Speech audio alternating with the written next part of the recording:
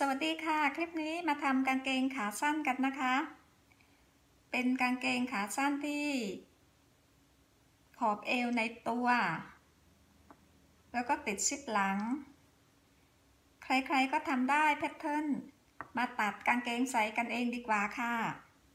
ให้เตรียมกระดาษสร้างแบบมาสักหนึ่งแผ่นนะคะ วัดจากด้านบนลงมา 10เซนติเมตรนะคะ จากริม ด้านฝา วัดเข้ามา 10เซนติเมตร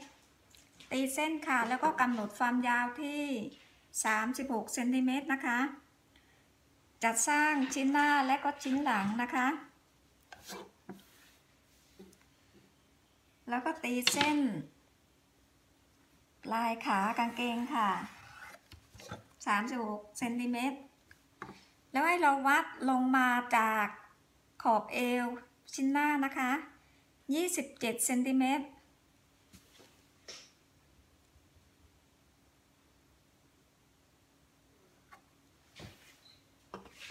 ฝั่งนี้ก็ 27เซนติเมตรตีเส้นค่ะ ตีเส้นยาวออกไปเลยนะคะ เพราะว่าเส้นนี้จะเป็นแนวเส้นเป้า แล้วก็วัดขึ้นไปด้านบน 6เซนติเมตรนะคะ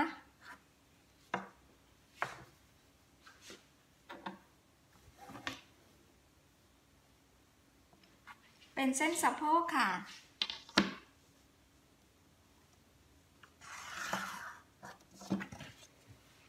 ก็จะเห็นเป็นเส้นสะโพกนะคะ แล้วก็เส้นเป้าลึก จากเป้าลึกเราให้เป็นเป้ายานยื่นออกมานะคะ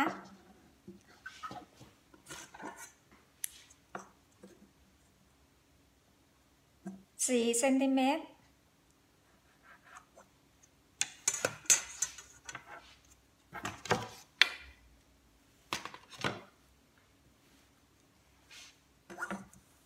จาก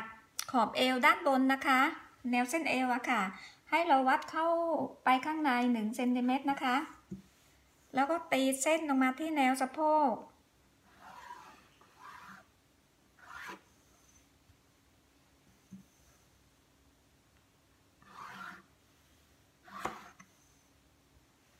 แล้วให้เราโค้งนะคะ โค้งเป้านิดหนึ่งค่ะ ให้เชื่อมกับ เส้นที่แนวสะโพกล่างค่ะ ต่อไปก็ ให้เราตีเส้นขนานลงมานะคะ จากจุดเป้ายานนะคะ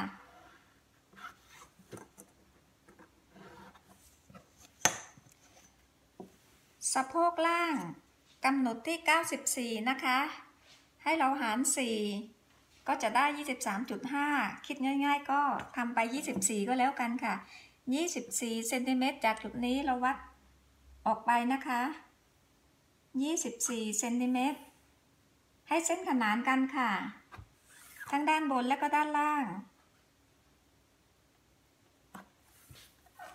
แล้วก็ตีเส้นค่ะ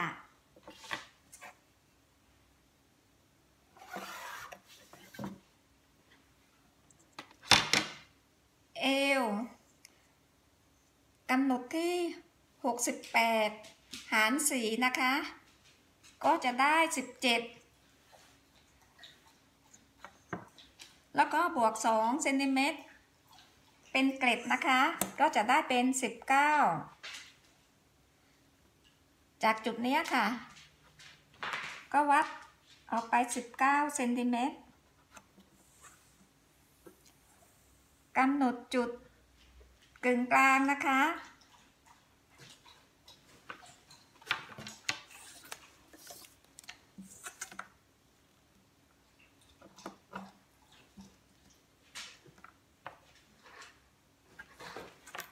ตีเกล็ดออกด้านละ1เซนติเมตร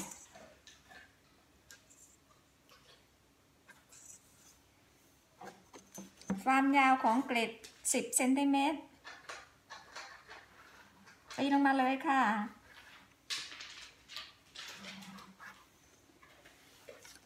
แล้วก็ให้โค้ง เส้นสะโพกนะคะ ใครที่มีไม้บรรทัดโค้งก็โค้งไปเลยค่ะเดี๋ยวฉันจะโค้งกับ ไม้บรรทัดหมุนเอานะคะ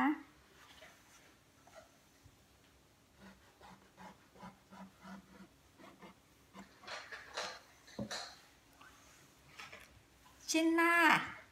จากจุดขอบเอว ให้เราวัดลงมา1เซนติเมตรค่ะ แล้วก็เก็บเก็บเกร็ดเอวนะคะ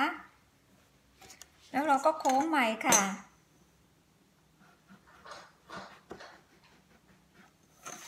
จะได้เป็นเส้นเอวแบบนี้นะคะ ต่อไปเราไปดูชิ้นหลังค่ะ จากข้างของชิ้นหน้านะคะ ให้เราวัดออกไป3เซนติเมตรแล้วก็ตีเส้นค่ะ ต่อไปก็ไปหาแนวสะโพกล่าง แนวสะโพกล่างกำหนดที่ 94เซนติเมตร บวก 4 หาร 4 ก็จะเท่ากับ 24.5 ให้เราคิดไป 25เซนติเมตรเลยค่ะ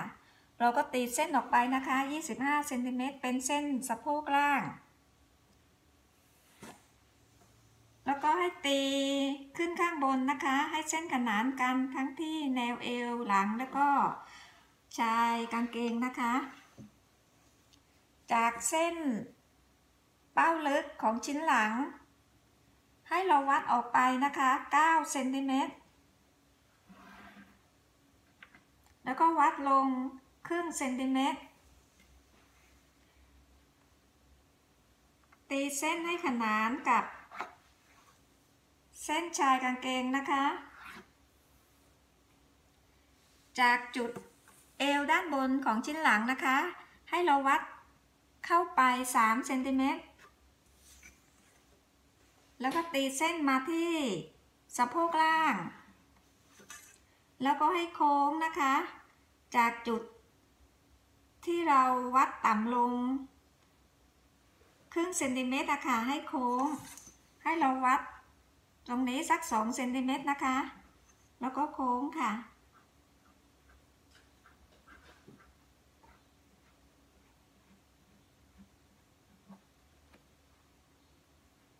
จะได้ประมาณนี้นะคะ ให้เราโค้ง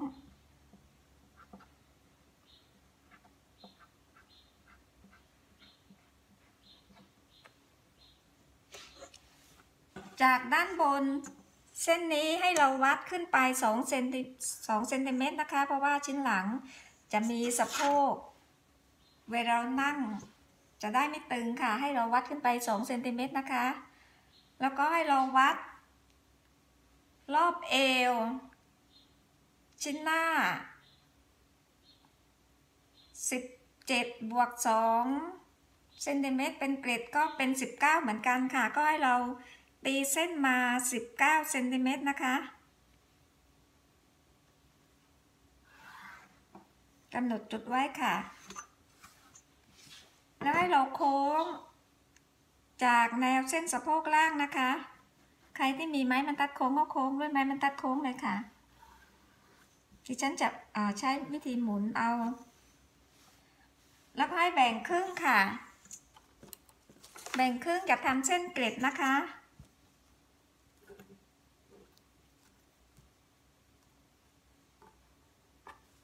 เกล็ด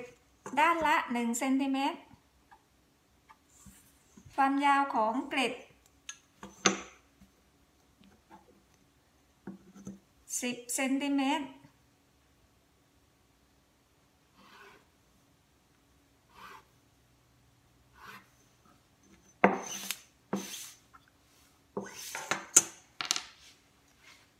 แล้วก็ให้เก็บเกล็ดนะคะ แล้วก็โค้งใหม่อีกครั้งหนึ่ง เก็บเส้นเกล็ดนะคะ แล้วก็โค้งใหม่อย่างนี้ค่ะ แล้วเวลาเราทำสาบนะคะทำสาบเข้าด้านใน เราก็เก็บเกล็ดทั้งชิ้นหน้าแล้วก็ชิ้นหลัง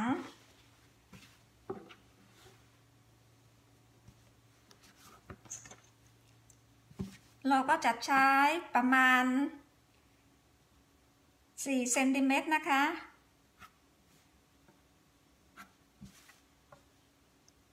เราจะใช้ผ้าดามไว้ข้างใน 4 เซนติเมตรค่ะ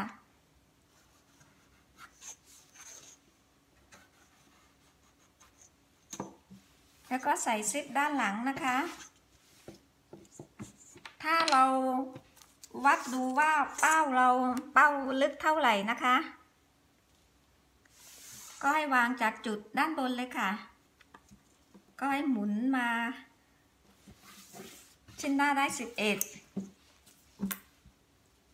ชิ้นหลัง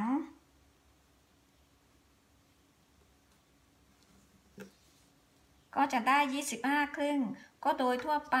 เป้าลึกของของคนของผู้หญิงอะ่ะก็ประมาณ 25 25 ครึ่งประมาณนี้นะคะแล้วในจุดนี้นะคะ จุดลายของกางเกง ที่เราเอาลง1เซนติเมตรนะคะ ปลายกางเกงนี้จะต้องเท่ากับชิ้นหน้านะคะ ถ้าชิ้นหน้า 10เซนติเมตรตรงนี้ก็ต้อง 10เซนติเมตรเราต้องเอาลงมาอีกนิดหนึ่งนะคะ แล้วก็โค้งทำเส้นใหม่อะค่ะ ประมาณนี้ค่ะ ถ้าต้องการให้ขากางเกงแคบเข้า ก็โค้งตรงนี้นิดหนึ่งค่ะ ตีเส้นลงมาเลยค่ะ หรือว่าโค้งนิดๆ ให้เป็นขากางเกงอะค่ะ ชิ้นหลังก็เหมือนกันค่ะ ก็โค้งลงมานิดๆ